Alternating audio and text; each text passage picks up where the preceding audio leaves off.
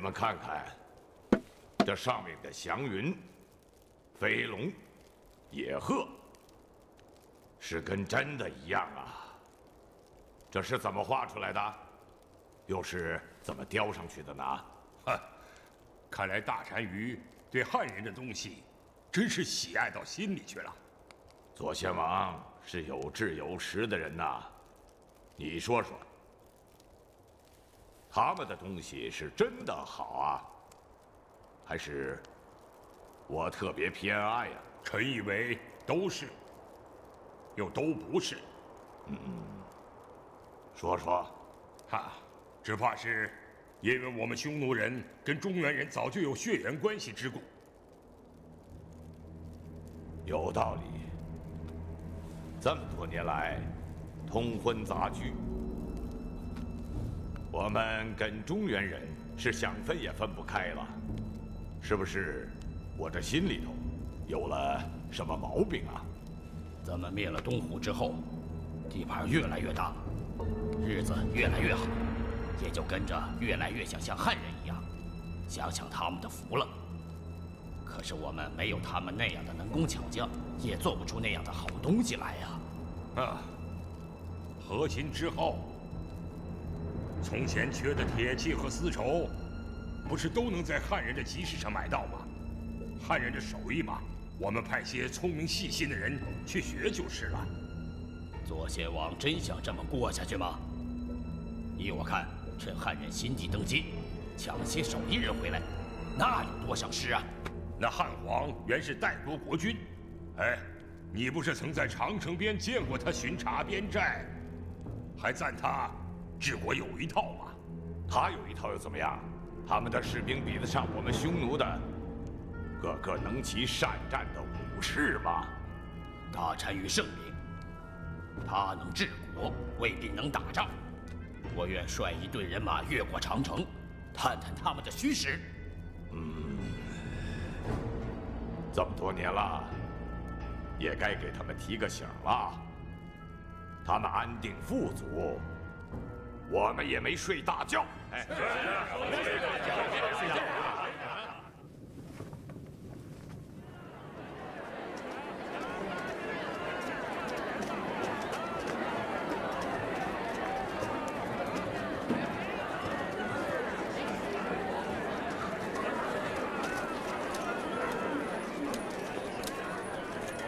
众将军，朝廷有旨，默读对我新帝登基没有丝毫的回应。这些匈奴人心里想的什么，谁也说不清楚。告诉你的军士们，要严密监视匈奴人的举动。诺。大人，今天集市中来了不少生命，大多是身强力壮的年轻人。哦，那更要细心。千里马啦，过来看看啦！卖马嘞！千里马，看看，嗯，的确是匹少见的好马，浑身雪白，找不出一丝杂毛，高大健美，啊！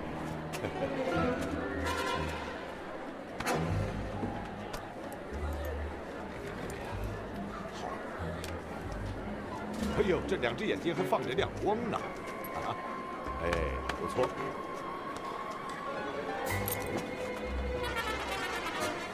哦，肚子上还有两个旋儿，是匹千里马。这马呀，我买了。这位大人，你出什么价？啊，嗯，一千钱。嗯，哎，这可是一匹匈奴的名马，至少也得这个价钱。什么？一万钱？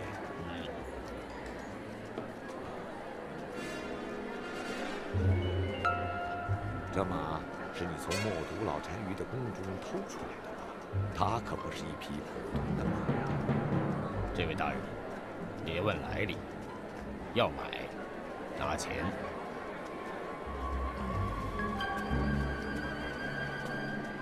来人，拿下！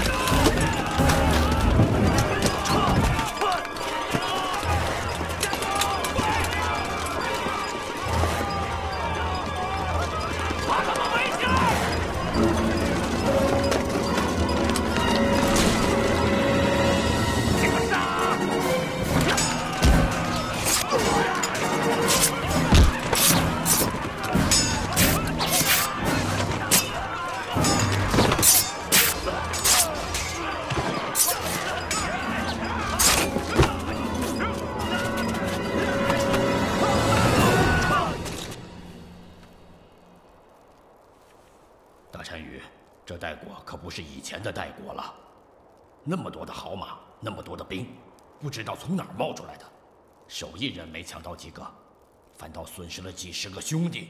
说好了，只是让你去给汉人提个醒，你竟把他们的郡守给杀了，净给我惹事。唉，看来小打小闹是不行了。这次云中郡可是立了大功，依靠屯田百姓和军马场的士兵，就打退了右贤王的袭扰。平时务农，闲时练兵，屯田戍边，这将是我大汉。强固边防的一种新战法。可惜那个马迷李郡守，死于右贤王的刀下了。听说呀，他没有认出右贤王，却相中了右贤王的马。选马时，遭了右贤王的毒手。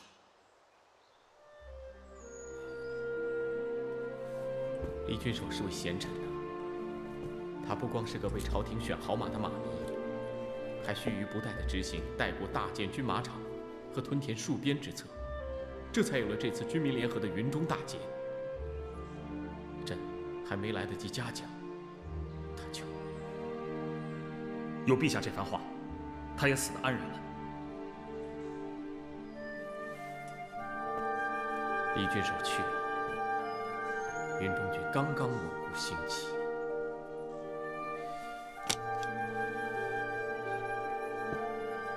你从儿时就跟着朕。朕知道你忠心游牧，朕要把云中郡交给你，你可要替朕守好大汉的北大门呢。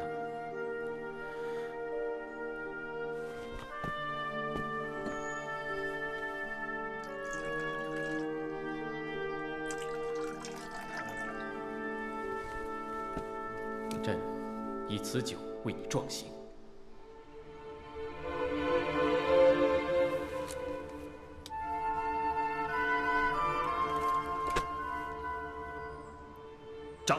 能守好这北大门，把匈奴人打怕；若不能让云中百姓安居乐业，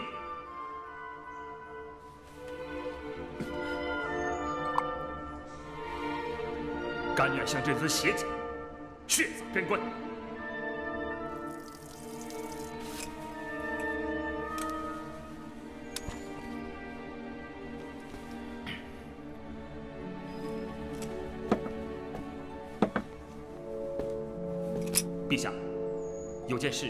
臣不知该不该讲。但讲无妨。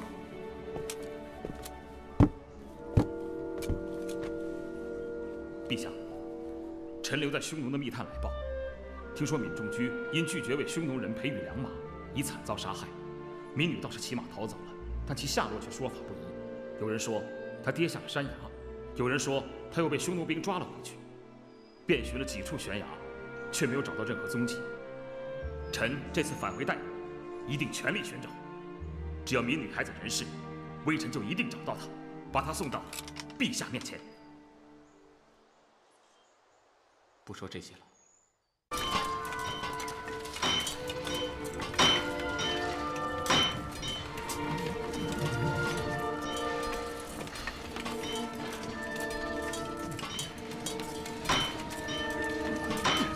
都停下来，都别干了，听我说我们大产业开恩，你们当中的八个人可以回家。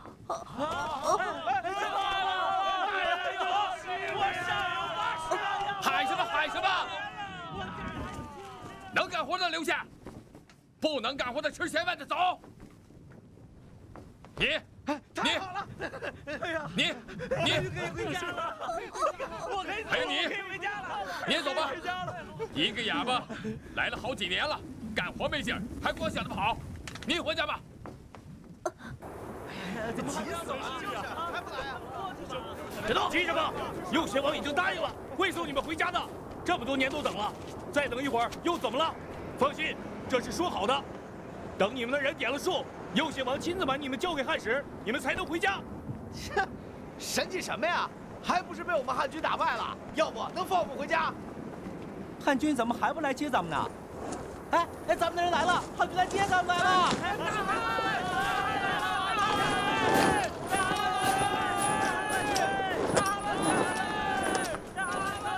喊什么？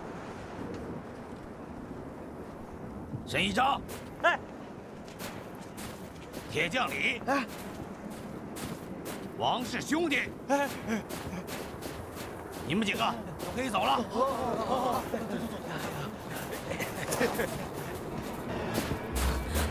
来，不是汉人，不是汉人，不是，我前王府的逃我犯是长山军马场的，我姓闵，放开我！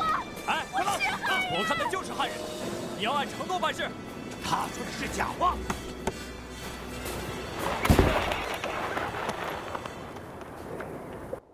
记住，让他好吃好喝，只要你们能做得到的，他要什么给什么，一定要把他伺候好。我说右贤王，一个汉人丫头还要伺候好他？你懂个屁！他可是个培育良种马的能手，是块宝啊！只要你们能哄他献出培育良马的秘诀，本王重赏你们。嗨，那还不容易，哄不好她，我就……嗯，本王有言在先：第一，必须得哄；第二，严加看守，绝不能让他跑了；第三，谁也别想打他的主意，谁要是违反，就小心本王这把刀。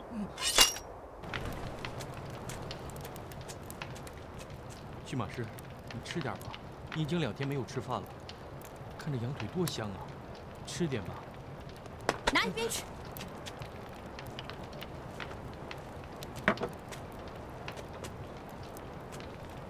那司马师，你喝酒啊？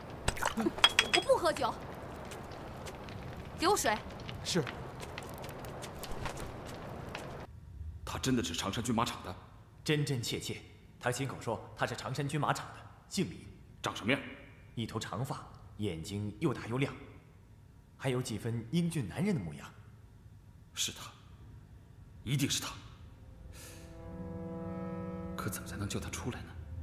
张军手，末将只要一百军马，杀入匈奴，把他抢回来。哎，且不说你能不能抢回他，找到他，就是能，动静也太大了。匈奴刚给我们送回了那么多人，汉匈刚刚和好，弄不好岂不又要引起一场战争？可是，人不饶我，我不出击。固守疆土，亲者必坚。陛下的圣书没忘吧？那，这是我们在龙城的人画的一张地图。既然是右贤王带走了他，那么他一定被关在右贤王地界的某个军马场。你看，这儿就是右贤王最隐秘的一处军马场。他应该被带到这儿，为匈奴人培育良种马。这样。你去找一个身手好、动作敏捷的人，速去寻访。只要查出他的下落，就速来报我。另外，你再去买一个猎兔棒，交给我。猎兔棒，木头的、铁的？铁的。要猎兔棒干什么？救民女，不能强攻，只能智取。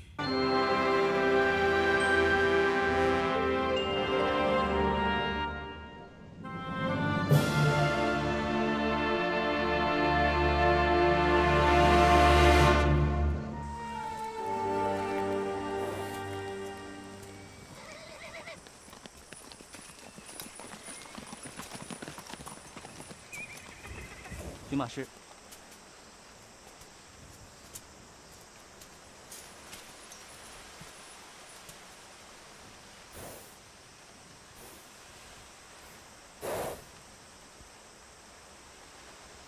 我知道你腿长、体壮、跑得快，可你的心好吗？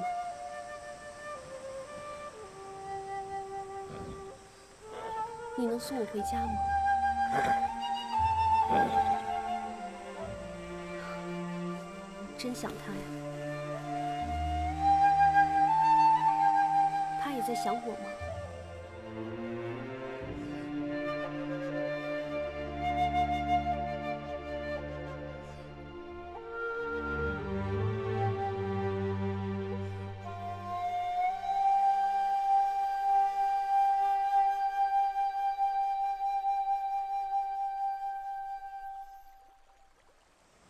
马师，司马师，我这马不错吧？哎什么时候把你那御马的绝活传给我们呢？等着吧。哎，马脑项链，哎，因此而至啊！头巾丝巾，来来来看看，这是马脑项链啊！来来来来，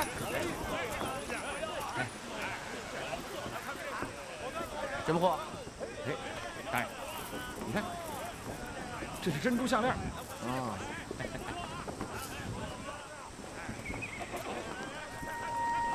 我挑挑啊，哎，成色不错吧？啊，嗯，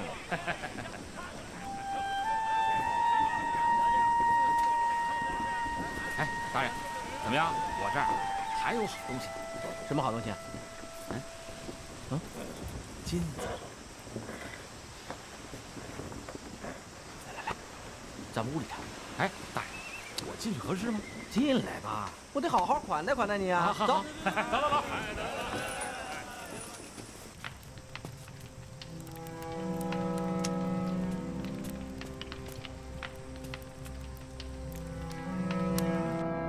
咱们金子这事儿可就说定了。哎，好好好。哎，还有大人哦，这是长安女人最喜欢的珍珠项链和玛瑙手链，那。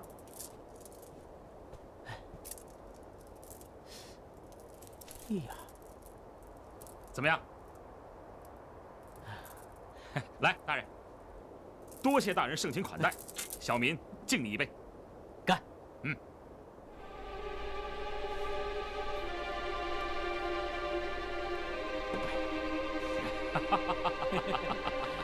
嗯，怎么样？喜欢吧？嗯，这个。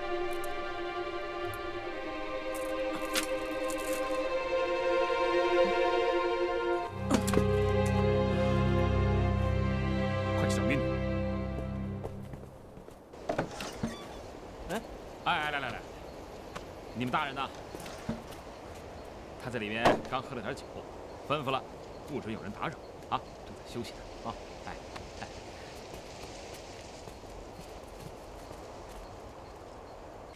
来人呐！有何吩咐？给我倒杯水。是。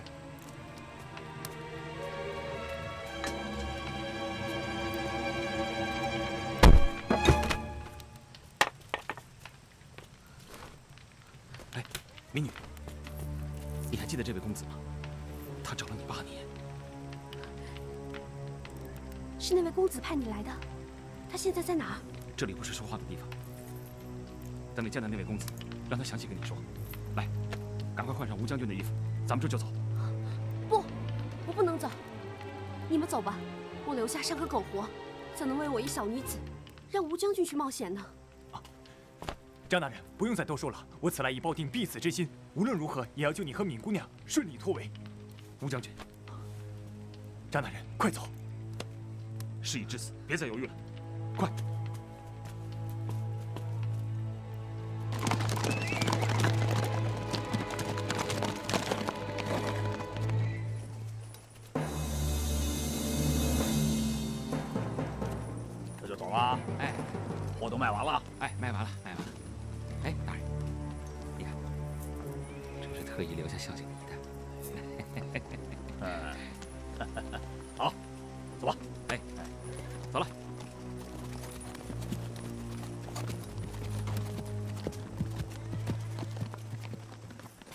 大人，嗯，今天真走运，这汉商够大方的。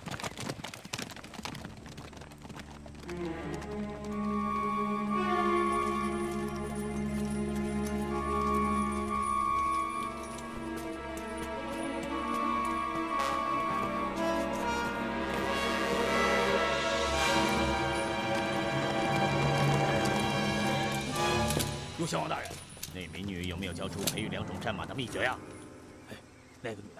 真是个硬骨头，软磨硬泡，他就是不说话。你们大人呢？我们大人刚和两个汉商谈完事儿，现在正在帐里歇息呢。歇息。嗯。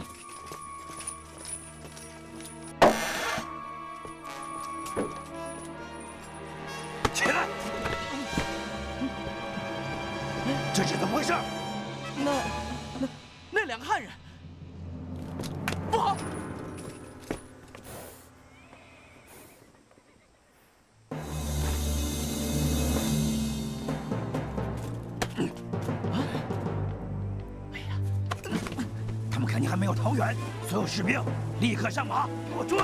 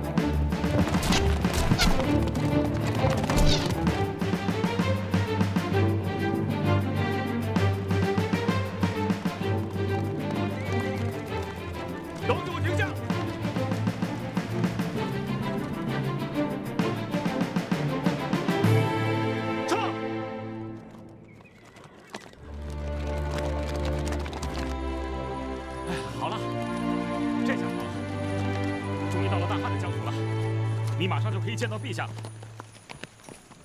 玉，哎，你怎么不说话呀？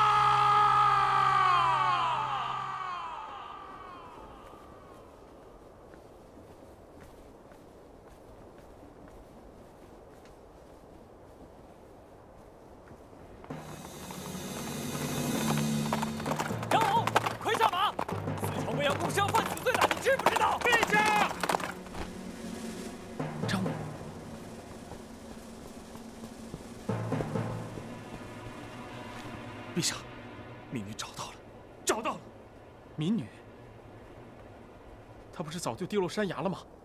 他在哪里？都怪微臣，都怪微臣呢。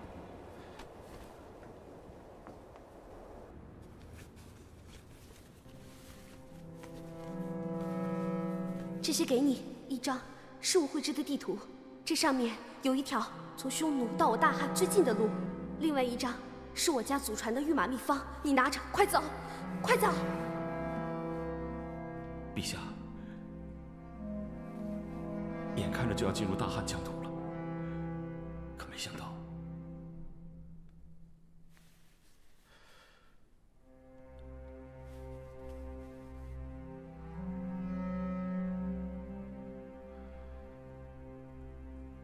这是一个民间女子，用她的血，用她的生命汇成的。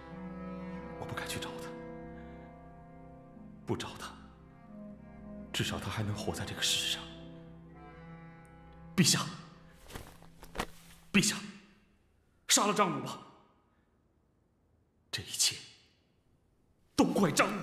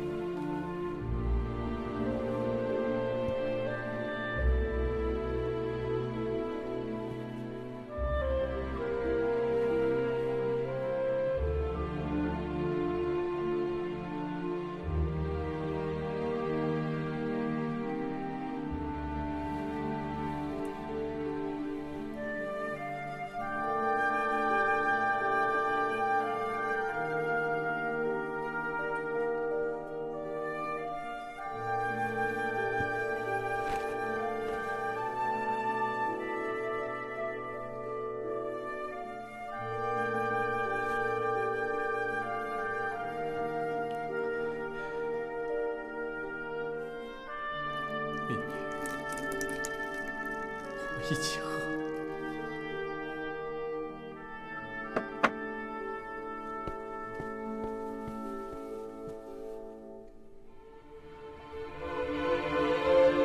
陛下，陛下别太伤情了。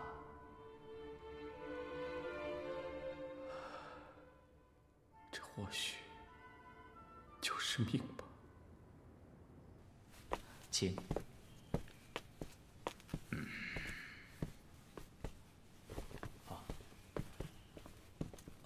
上将军，贾博士，这是又在做文章啊？啊啊，是啊。老夫啊，原来只知道刀能杀人，今天才知道贾博士的文章也能杀人呐！哎呀，上将军，你误会了。老夫的肠子长不出你这儒生那么多味儿来。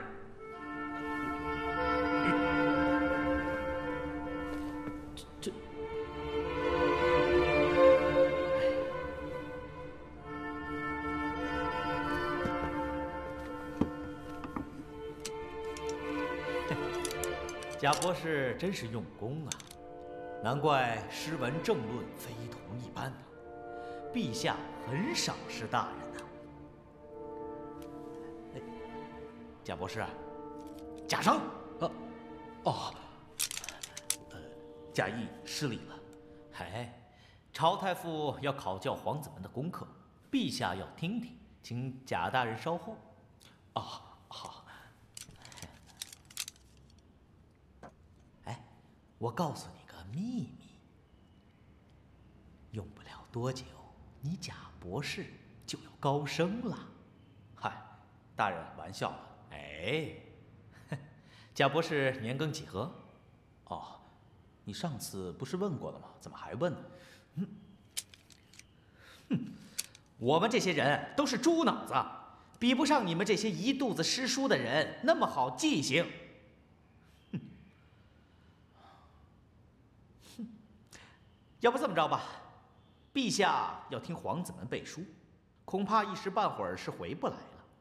不如我先给贾博士找个房间休息一下，待会儿陛下回来了，我再去叫你。哎呀，如何？那就有劳邓大人了。啊 啊，请请。请。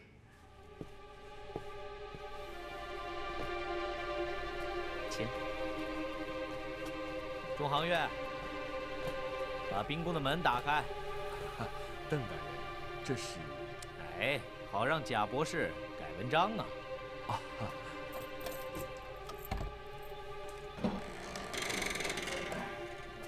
啊，请。好。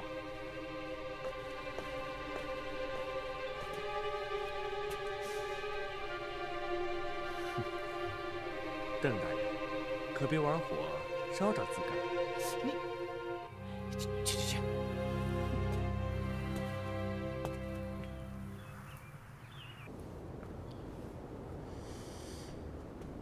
贾博士，你就安心在此改你的什么书吧。啊？呃，谢邓大人。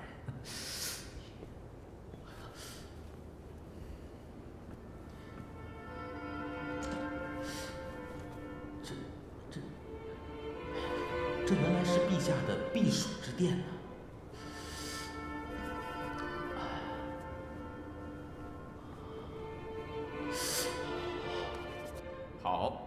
启儿背得不错。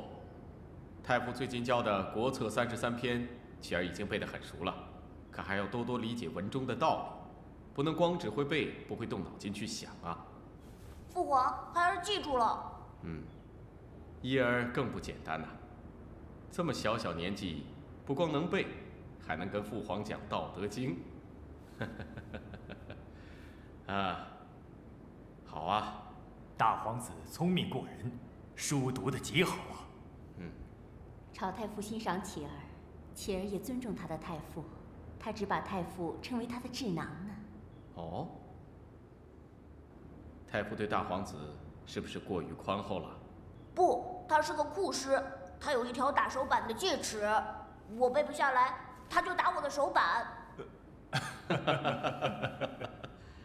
那戒尺是父皇赐给太傅的，你们三个谁要是不好好读书，太傅就替朕打谁的手板。好了，现在该我们的五儿背书了。是，我背一首远古的神话：夸父逐日，夸父与日逐走，入日，入日，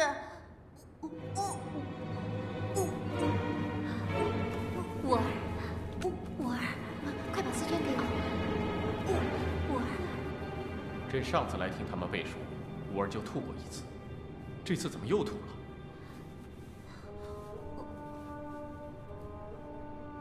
臣妾没能带好五儿，请陛下恕罪。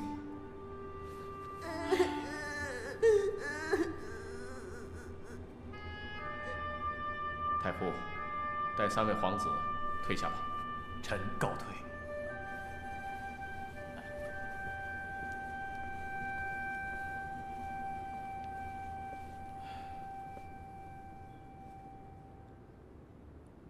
来这五儿将来是习武的，不比启儿和一儿啊。五儿生来体弱多病，其实皇后想说什么？其实五儿也是一样的聪明呢。哦，陛下，少府邓大人禀告，说有一位贾博士正在等着陛下召见呢。好，知道了。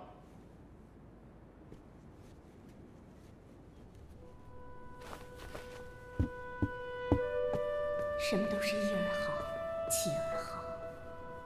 我的五儿，你怎么就是不争气呢？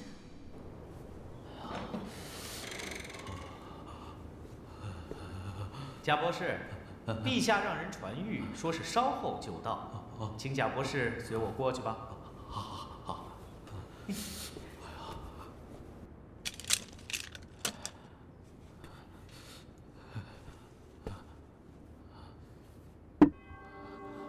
贾博士怎么浑身哆嗦？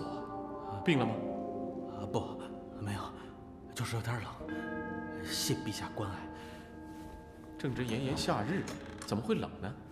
啊，禀陛下，贾博士在偏殿等候时，想抽空修改下奏读。小人想，总得找合适的地方吧，就领贾博士去了冰宫。呃，那是又凉快 又安静啊。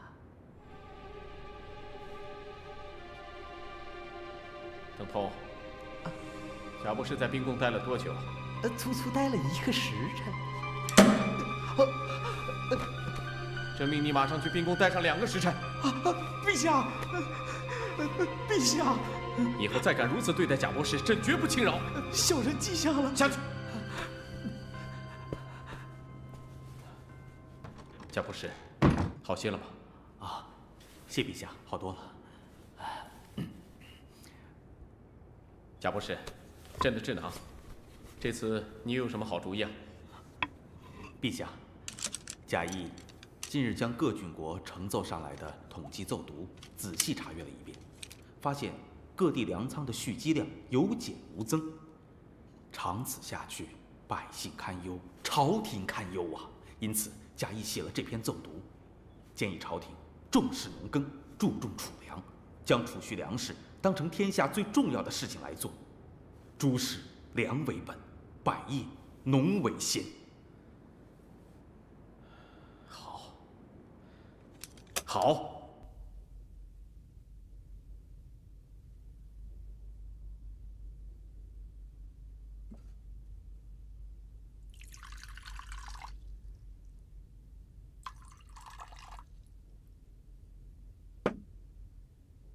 请，张大人，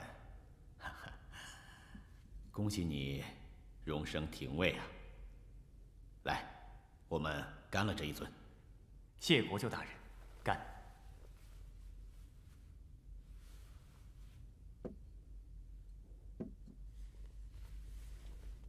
廷尉府，廷尉府，上为朝廷，下为百姓，其实是个至尊至善的差事啊。国舅大人此言可谓透彻。这上为朝廷，就要维护朝廷的律令，保护百姓，就得对恶人罪犯用刑判刑。可这恶人罪犯也有亲人友人，求到下官这里，下官不知为了多少难，伤了多少人。哼，难呐！哼，也正为此，老夫在陛下面前每提及张大人，陛下都面露。嘉许之色呀！下官借国舅之酒，谢大人提携之恩。啊，呃，既是老友，就不用客气了。张大人，老夫……国舅请讲。老夫有一魏国时的老友，犯了些事，唉，可真叫老夫为难呐。你说不管吧，几十年的老朋友，他的家人已求到门下；管吧，他的确犯了律令，正押在你们廷尉府。国舅说的可是？正是蜀郡府库钱银。国舅怎么会与他是老友？他犯的可是桩大案。他私自挪用库币，给他儿子做买卖。还与假币案搅在一起，情节极其恶劣。我看，要是求情的话，恐怕只能找陛下了。这么严重啊？嗯，张大人，陛下的为政之风，张大人是知道的，老夫是不能求的。还请张大人。斟酌着办，啊，看能否免他一死。来，喝酒，喝酒啊！家生，今日朕召你来，是想请你吃到野味。吃野味？嗯。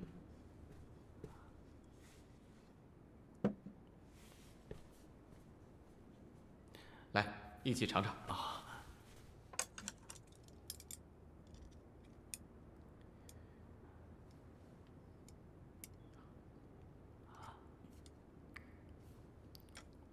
味道如何？香，很香啊！那是自然。他们肚子里都是很有油水的嘛。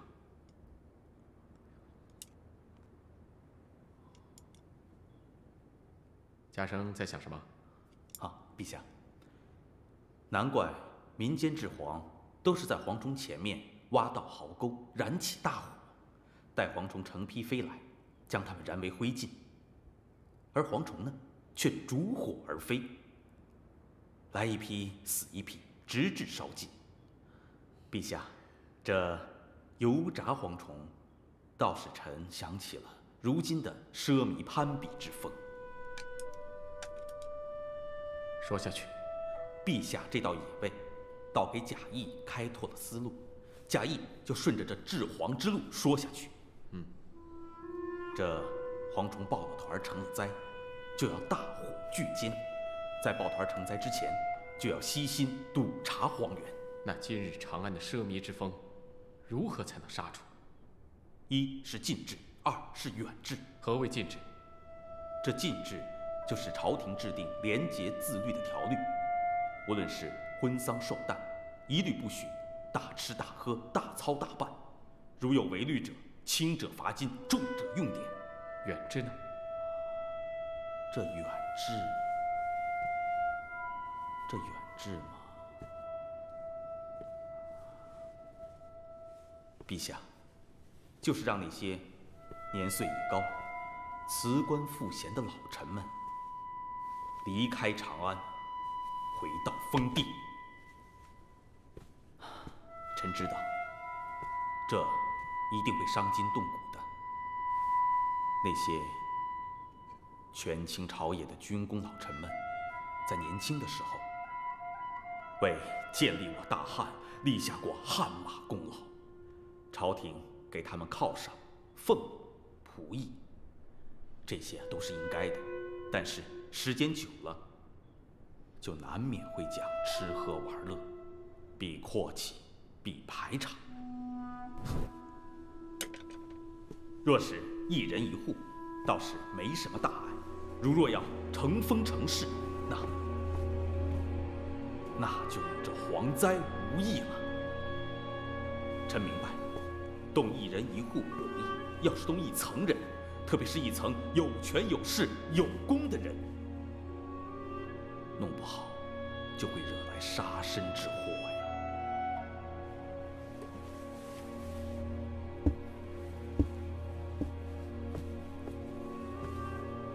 如果让你去办此事，你怕吗？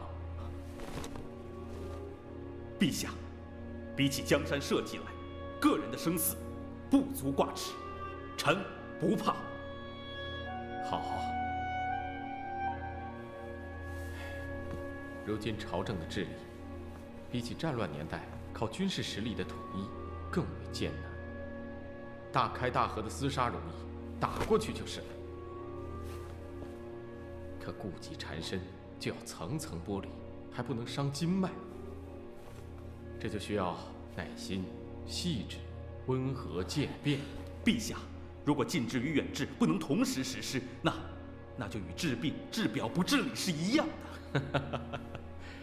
贾博士啊，贾博士啊，你可真是一个一点不掺杂的博士啊！长沙国今年的。哎呦，我我我我，哎呀啊！待会儿再念。老夫方便一下，哎，方便一下去啊！哎，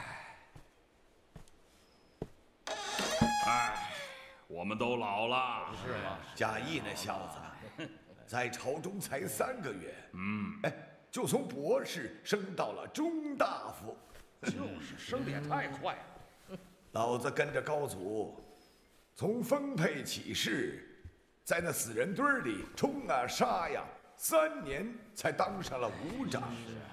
到今天，快三十年了，我才混成了个快成侯。怎么打天下的人熬个官儿就那么难呢？嘿，他这个。读了几年酸书的人，怎么一进朝就能当大官儿？这，这让人太不服气了。哎，老子这一辈子一不爱钱财，二不爱女色，唯独就好这个。可贾生上奏陛下说禁止在宫内喝酒，你们说说，这不是跟我过不去吗？昨天啊。我路过兵宫，贾谊那小子右手拿着一沓子书简，准备上奏书呢。你猜他跟我说什么？说说什么？怎么怎么说？他说呀：“哎，就你们这帮老臣，是人人都有功劳，嗯，可你们太老了，还个个老虎屁股摸不得。陛下如今治国，只能靠我们这帮儒生了，尤其是我贾谊。哎呀，太狂了！是，不像话。邓大人，陛下召见微臣，陛下呢？啊，去吉田好一阵子了，该回来陛下对那吉田真是上心，非要亲耕不可。其实把它交给我们治粟司，保管年年大丰收。是啊，朕虽坐拥天下，可也就只有这一亩三分地。治粟内史也想给朕充公了吗？微臣不敢。起来吧。谢陛下。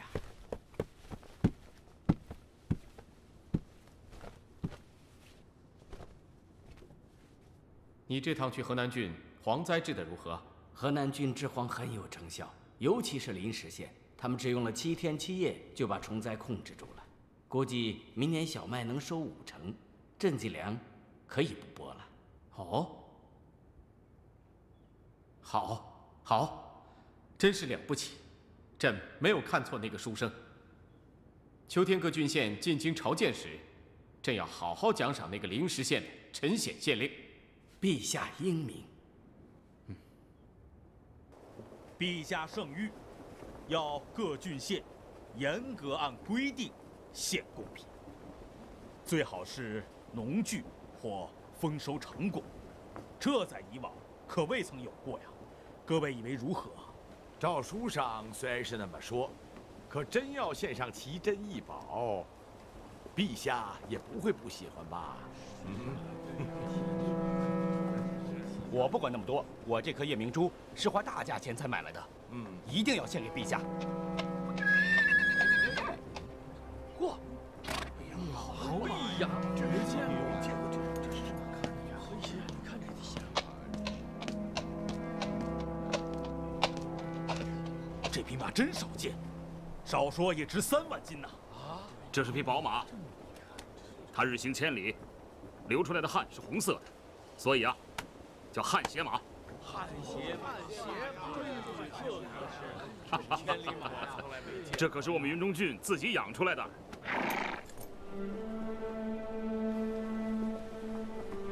我们临时穷山恶水，献不出什么贵重的贡品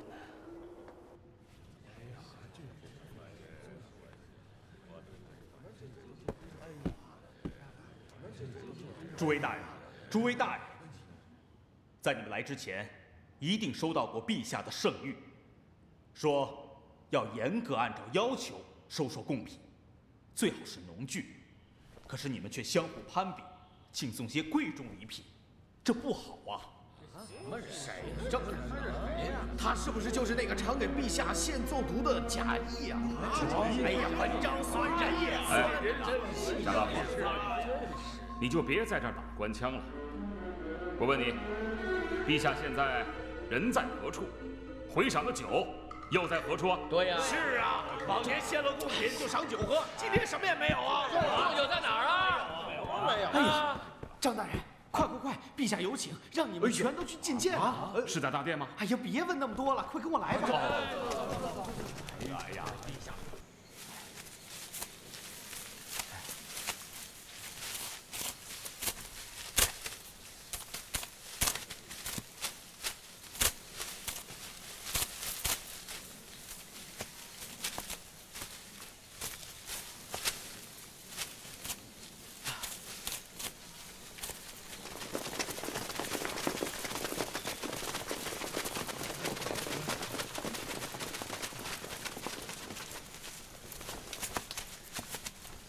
陛下长乐未央。你们看朕都干了这么久了，还不快过来帮帮忙？啊，是，诸位大人，请报告快。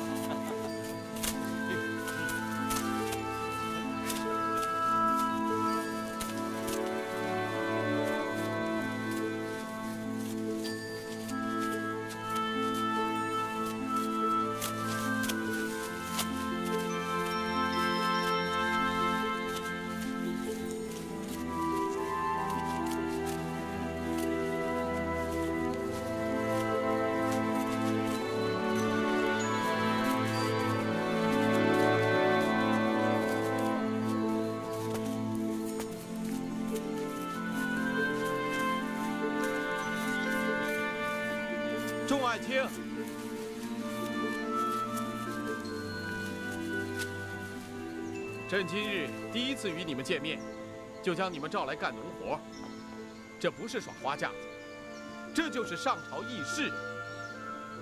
朕让你们看看贾谊的《论基础书》，不知你们是否看过？这篇文章写得好啊！当今天下，吃贤粮的人太多了，是国之大伤。奢靡之风日复一日，将是国之大害。此文对朕的触动很大。如果我们现在就不再讲勤俭耐劳，而是一味追求享受，那我们大汉的基石就要被蛀空了。臣之罪。哼，都起来，起来吧！现在这又不是上朝。谢谢陛下。陛下，都准备好了，就是简单了点。众爱卿，随朕来。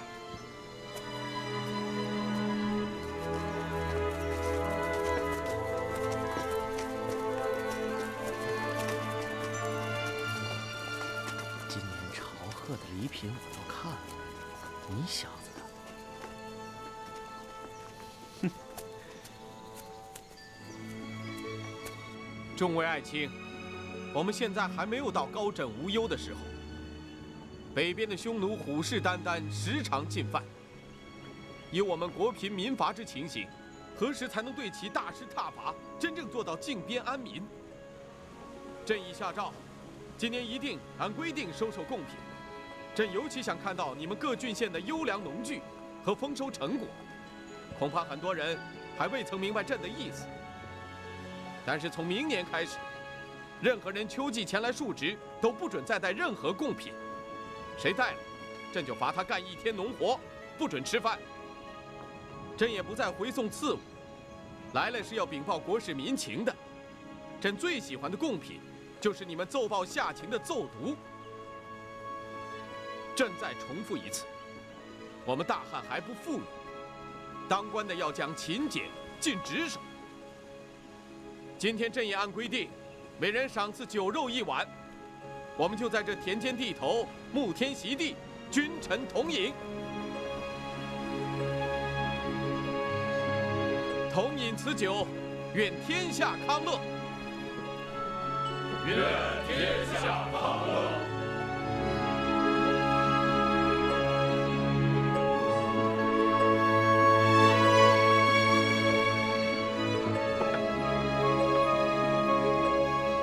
灵石县县令来了吗？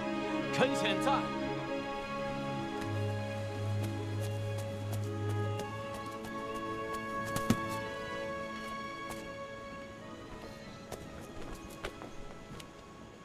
臣显拜见陛下。爱卿，快快请起。谢陛下。陈爱卿，听说你在灵石县干得不错，今天你为朕献来何物啊？陛下，这是我临石县官兵和百姓烧死的蝗虫和保住的庄稼，臣带来一些给陛下一看。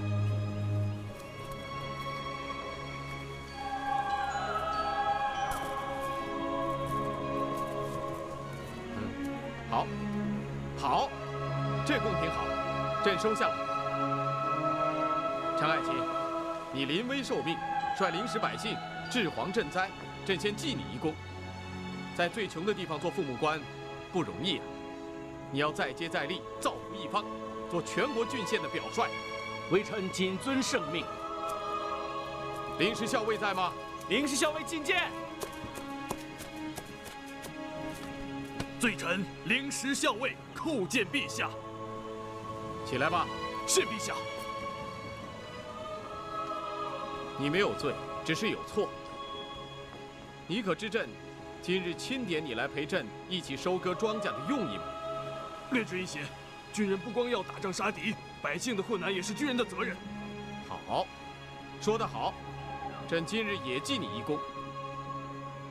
通过陈显率领百姓灭蝗治灾一事，咱们就定下一个规矩：今后吃皇粮的军队，如遇当地百姓有困难，一定要伸出援助之手。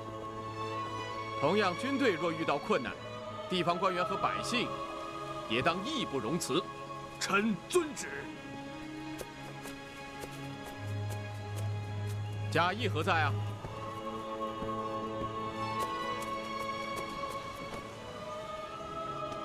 陛下，微臣在。起来吧，拿贡品登记簿来。遵旨。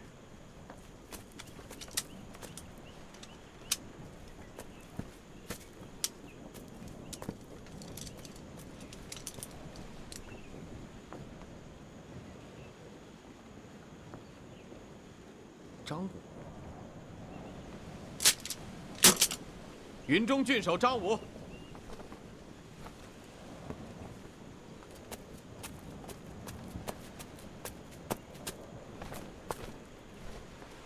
陛下，臣在。大胆！你竟敢违抗朕的旨意，献上如此贵重的千里汗血宝马。此汗血宝马从何而来？花费了几万金。你要朕骑上千里马，一个人跑在前面，你是想让朕成为孤家寡人吗？陛下，这马不是花钱买的，而是咱们常山军马场自己培育的。陛下在代国之时，一直重视军马培育，当年的苦心经营。今日已大见成效了，臣特来献给陛下。臣献宝马，仅是此意。陛下，张郡守，快快请起。朕错怪你了。谢陛下。朕既已下诏，此宝马就送往宫中驿站，做驿使的坐骑。你培育良马之功，朕将另行嘉奖。谢陛下。我大汉有此宝马，何惧匈奴？张武，朕不是要你带你老父亲一道觐见吗？家父已随我前来，正在那边等候陛下召见。快请。宣张武父。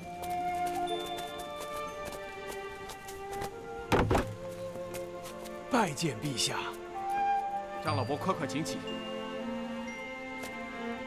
朕当年在代国的时候，就看到张老伯在潜心摸索适合当地土质的耕犁，今日终于获得成功。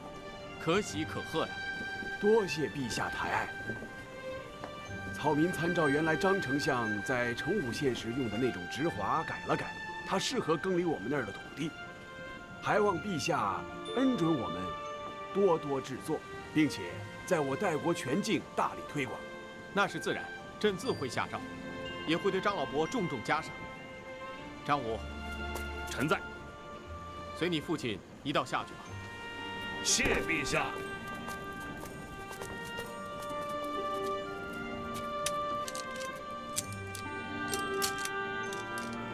朕从这贡品簿上看到，还有不少官员挖空心思到民间搜寻了不少奇珍异品。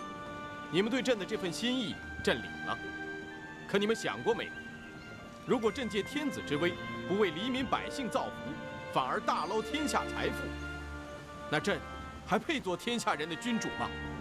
同样，你们身为一方百姓的父母官，就要亲民、爱民、恤民、利民，绝不能在百姓身上巧取豪夺。像陈县令、张郡守、张老伯这样，或全心爱民、恤民，或十数年如一日，投身马场田间，以农牧之心待我大汉之心的栋梁，方是你们各郡县效仿学习的楷模呀！谨记陛下教诲。陛下，那今年的贡品如何处置？凡是送珍贵鸟兽的，送上林苑；送古玩美玉金石的，入钱库收目。至于淮南国送的豆腐嘛，就送到少府，作为宴请百官的佳肴吧。谢陛下。爱卿，快来尝尝，这就是用你献上的素栗所做的。谢陛下。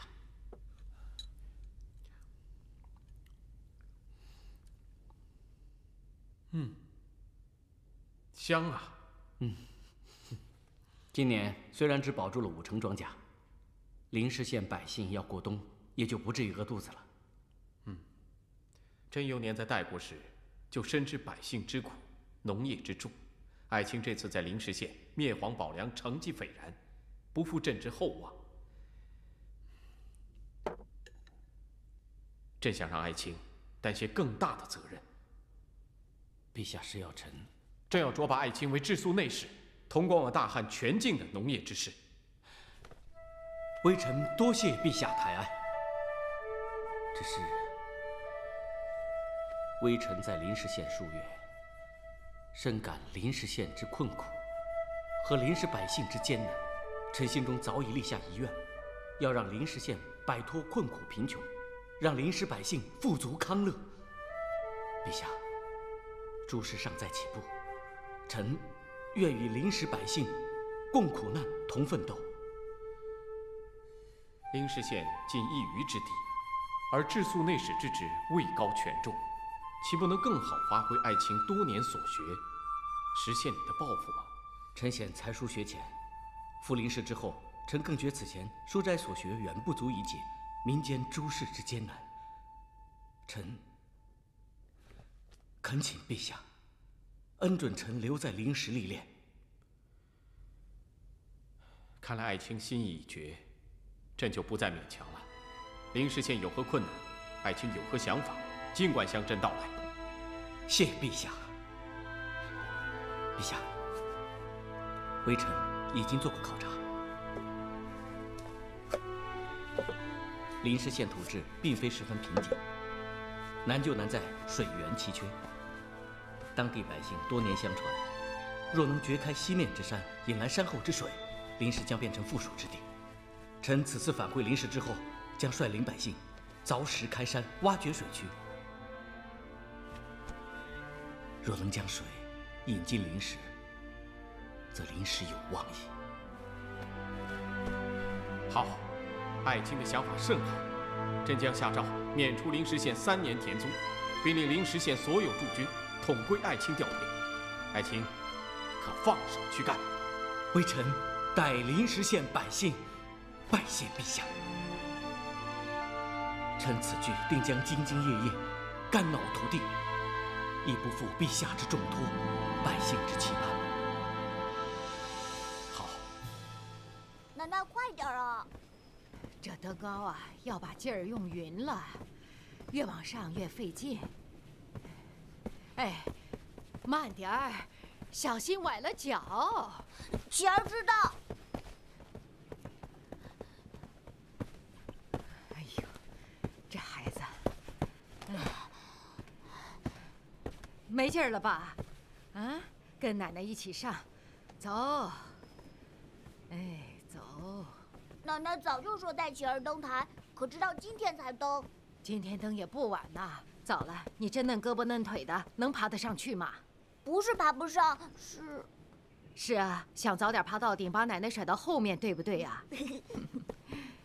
哎呀，好了，哎呀。这登台跟登山一样，越想快越快不了，心急啊也费力，登山也费力，力费尽了就爬不动了。所以奶奶告诉你啊，要把劲儿用匀了。奶奶，父皇小时候你也带他登过这长长高高的台阶吗？是啊，在代国的时候，你父皇也登过山，白登山、长山他都登过，而且每次登山回来。都跟奶奶讲，他都看见了些什么？嗨，你父皇的事儿啊，以后再跟你说。奶奶，往下走好走，喜儿一口气就能跑下去。嗯，不行，这下山呀，要比上山还难呢，必须脚踏实地的走下去。你要是心急一跑，再摔个跟头，这么高的台阶，非得摔个鼻青脸肿不可。奶奶说什么事都那么有味儿，有嚼头。好。来，咱们呢必须脚踏实地的走下去。嗯，走。